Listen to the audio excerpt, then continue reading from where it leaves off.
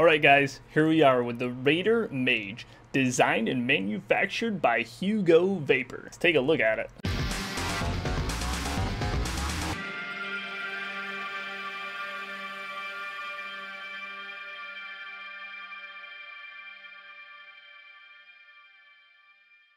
All right, here we go. We got the Rader Mage, designed and manufactured by Hugo Vapor. I'll be honest, I don't know too much about Hugo Vapor. I went on their website, tried to find some information on this mod. There didn't seem to be too much available for it. I also searched around on the internet and I didn't really find this mod in too many places. I don't know if this just started getting sold or if it's just not a very well-known mod. If you guys know more information about it, shoot some comments down below and let me know. Have you heard about this mod? Do you know know much about this company. Can you enlighten me a little bit on it? So we have a shrink wrap plastic around it. It's like pretty, I guess, well sealed. Like they certainly don't want that top coming off on you, but it wasn't totally sealed. Like my bottom was already partially open. So let's go ahead and tear this open, get right inside of it. You can see that so much better now without the plastic. Here we go. We've got the Rader Mage Mod Killer Material Killer. This is www.hugovapor.com here on the bottom. Not intended for use under the age of 21. For authenticity on the bottom here. And inside it says it contains one Rader Mage, one user manual, one warning hint, one battery warning ward. I don't know what a warning ward is. One USB charger, and it says firmware upgrade. Rader Mage, designed and manufactured by Hugo Vapors. UPC on the side, and on the bottom it says Hugo Vapor Technology Company. There's their info on the bottom, their telephone. It's interesting here on the bottom that it says not under 18, but on the top it says not under 21. So I guess if you take the lid off, you can use it early. And on the top, we have a Rader symbol. Let's take this off and see what we have on the inside that already looks really nice. Oh, that feels nice too. All right, let's dump out the materials. Let's take a look at our paperwork. We have a pretty large manual, English, Danish, German, Russian. It has a lot. Best thing to do with these manuals is read them while you're on the toilet. Here's the English if you guys want to take a look at it. More information on the back. I'm gonna save this next time I poop little warranty card here, your purchase information on the back, warranty coverage, and I'll try to get this focused so you guys can pause this and read this if you so choose. I'm gonna save it for when I poop. Morning! You'll get that often with me. Hugo Vapor, and it gives some information about batteries and our USB charging cable. Feels like a very nice braided cable. This looks like a, to me, it would say like, okay, we went with a quality cable, not one of the cheap rubber ones. And we went with a cable that's so short, you can't do anything with it. And this is the size of the cable, in case you ever want to go anywhere that's not directly next to your laptop. So we'll go ahead and save this for later. Alright, let's take a look at this mod. And this one is the Manga. What's interesting is when I went online to look at the designs, they're actually not all the same. So the Manga one that I got is still a uniquely designed manga one that does not look the exact same as the other ones. Design on the back, more design around there, more design. I almost feel like it's upside down. If I wanted to go like that, I feel like this would be like the right side up for it, even though it's upside down. Here is the front. Nice clicky fire button.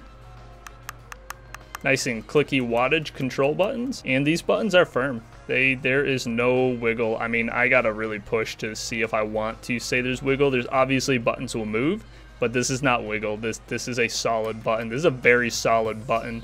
And it feels, it doesn't feel like plastic. It feels like vinyl. It's a very good feeling in the hand. Has their logo on the side engraved in here. It says Rader. The other side is smooth. And it feels really good in the hand. It's solid.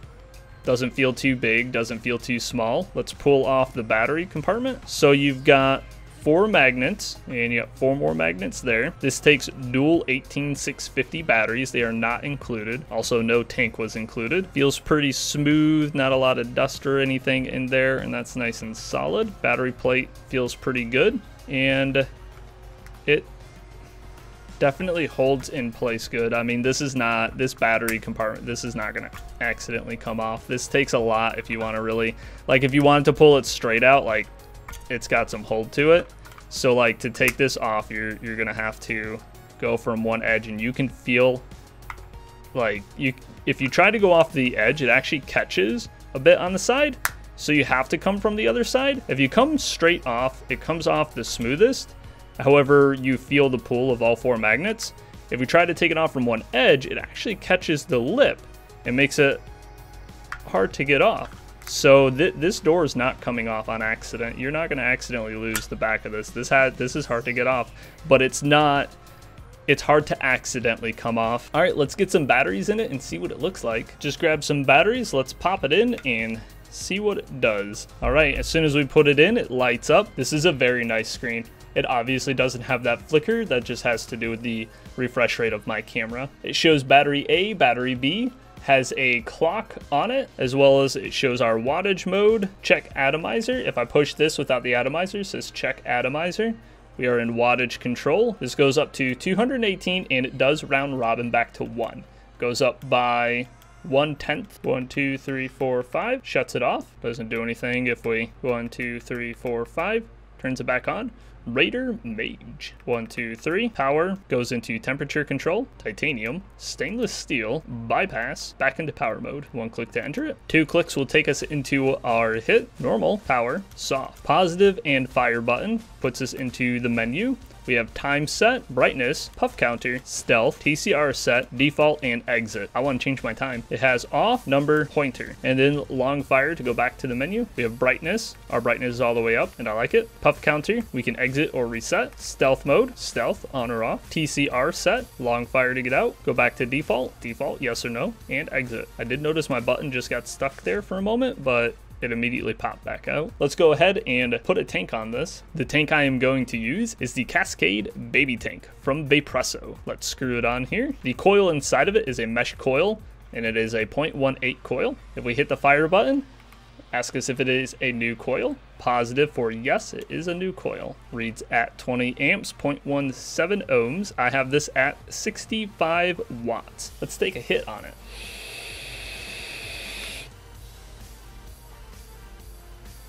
Well, it works. I mean, it's a mod. I've already reviewed the tank. If the video is not up yet, stand by. Seems to heat up pretty fast. It shows the batteries as being uneven, even though when I checked them earlier, the batteries were both the same. Uh, so I'm not really sure why that's a thing.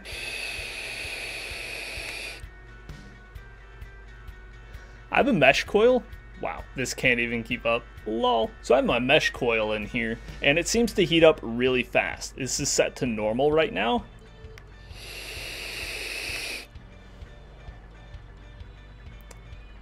That's pretty nice right there. Let's change our ramp up. Two clicks takes us into Power Plus. We're now on Power Plus. I don't like Power Plus. That heats way too fast and gives me a, a poor flavor. And this time we'll go to soft.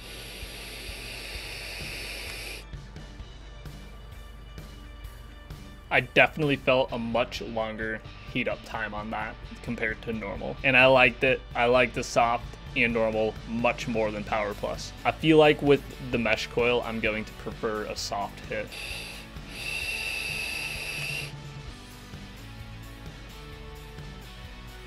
Alright, we ripped it a couple of times. This is my first initial impressions.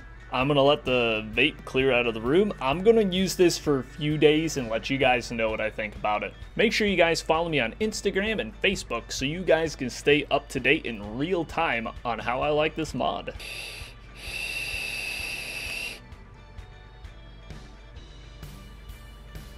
A little longer than a few minutes later. Alright, I've been using the Rader Mage for about a week. I like it. I gotta say, it feels pretty good in the hand. My previous mod was the Predator 228, so this is kind of what I was used to using, and then now I'm getting used to something like this, so it's, it's a little bit bigger, but I like it. The buttons are nice and clicky, which I like. Do have to make sure I point out uh, when we first unboxed and looked at it, I mentioned that the, the button did stick once, and I did notice in the last week there's been at least a few occasions where I either was taking a hit or I was doing something to click the button and the button got stuck, and it caused it to continue firing until I was able to wiggle it out. Now, it didn't take too much to wiggle it out, However, if it was in a scenario in which I was maybe moving it or somebody else had clicked the button and we didn't notice it, it would have kept going until the safety feature shut it off, which uh, I know with some vapes it's around 10 seconds. With this one, I haven't gone in and looked at it. It's only been a few times. It hasn't necessarily been enough to make me go like, oh no, like this is a total turnoff, but it is enough that I feel like that's something very important on a mod. That's something that shouldn't be overlooked. So for the fact that that kind of keeps happening, I feel like that that's kind of an important design flaw that needs to be addressed. So fire button does stick. It's stuck a few times on me and it will stick and stay on and it's not doesn't stick to where like it's just a bad spring. It sticks to where the plastic is actually stuck and it has to be moved out of position or it will stay firing. Another thing that I've noticed, it doesn't matter what battery I use use or how I put the batteries in. If I take two batteries that are 100% charged and I put them into the mod, battery B will always read slightly lower than battery A. I swapped the batteries around. I even noticed when I used them and I, I got like a full day of use out of it, battery A was at 50%, battery B was basically right down to the bottom line. When I took the batteries out, put them onto my charger, it said both batteries were at 58%. So why battery B is always reading lower than battery A, and it doesn't matter, I have three different batteries that I use, doesn't matter what battery or how I put them in, battery B was always reading lower. Few of the forums that I went on, I did find one other person experiencing the same thing as me. However, I talked to about two or three other people who were like, nope, don't know what you're talking about. They sent me pictures. Theirs were both 100%. I've never seen both batteries 100% on my mod. All three of my batteries, no matter how I put them in, no matter how I put them on the charger. So battery B has never read as full for me, and it is always read lower than what battery A is at, no matter how I put them in. And then, like I said, I take them out, put them on my charger. They read exactly the same percentage, but on here, it was a probably 20, 25% difference. Another con, a lot of people were complaining this on the group, See this white here and this white here? That's actually, you can't see the green because of my green screen, but those whites that are missing there are actually, it just didn't print the logo onto it. Now these look like they're dipped. I don't, I think it's called screen printing or something like that. I've noticed that all of these mods, although similar design, so this is the manga, it's similar. However, it's still different from somebody else who has manga, which I think is pretty neat, you know, so you'll never have the exact same two mods. However, when they do that, because of how they engrave, there are some areas that end up missing some of the picture. To to me it's not a major turnoff because I think that it's so unique that to me it can't be a turnoff. It's it's unique. Nobody else will have this mod. Nobody else will have this exact printed mod. They'll have something similar, but they will not have this exact printed mod. And this one is mine. So I guess I'm okay with that, but if you're somebody who wants a perfect picture, you're not gonna have it. I saw a lot of people who complained about the same thing and they seem to all be on the back plate or on the engraved logo on the side or in both cases. Mine is really just on the back plate and like maybe a little dot on the side. You know, it wasn't a major turnoff for me, but some people and a lot of people in forums actually were complaining that they did not like that. The pros though, it feels great, feels good in the hand, got nice clicky buttons,